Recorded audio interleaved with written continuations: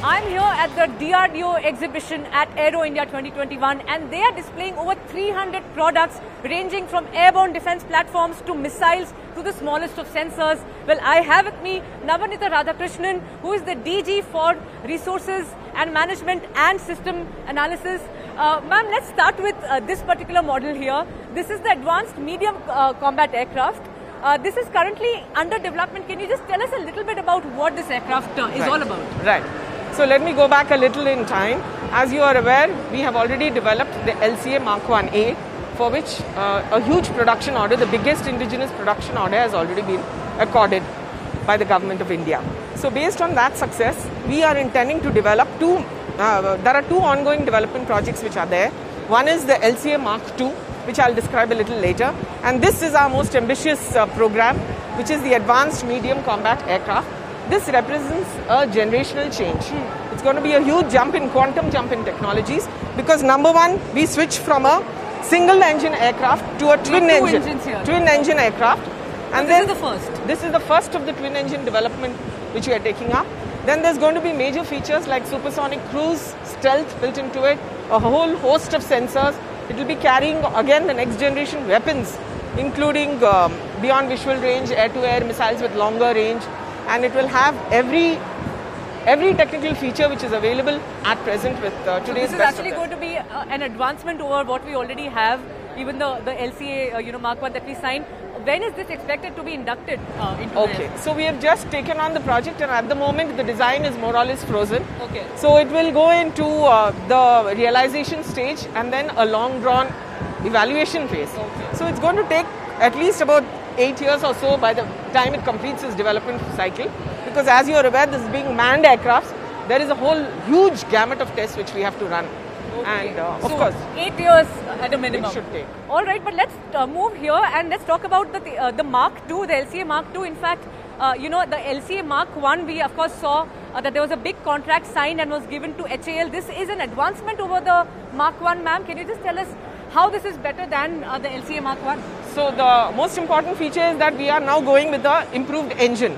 Well, that was a 404 engine. This is now we are going in with a 414 engine. Okay. And we are again going in for improvements in some of its features, in terms of I think the the length and uh, uh, all the, the basic uh, dimensional details will also be different. This is again uh, completed its design phase. Right. The metal cutting is started, and we hope uh, there will be a rollout of this uh, by uh, 2022, which Right. is next year, and then we'll begin the flight evaluation schedule. Okay. This will so this is the next on the anvil, and then we'll take on the AMCA. I think Okay, it should be this is expected to be inducted by uh, the rollout, of course, will be by the rollout is expected by next year. So this is going to be a, another step from uh, from uh, Mark from Mark One. Okay. Uh, moving on, of course, there's this uh, missile here. Uh, what is the uh, name of this, ma'am? This is the Nirbhay, which is our subsonic cruise missile, capable of about 1,000 kilometers uh, of uh, range. And uh, this has passed through uh, its development cycle, and we have already done a number of uh, trials and tests on it, and it is ready for uh, going into the final phase and getting accepted by the users. By when is that expected? Uh, well, as we are, as far as we are concerned, we have finished our trials and tests on it, and uh, we do have uh, acceptance from the users for uh, you know the production orders for it. Uh, it is a question of uh, you know the paperwork being done and all those processing to be done by means of it will. All right.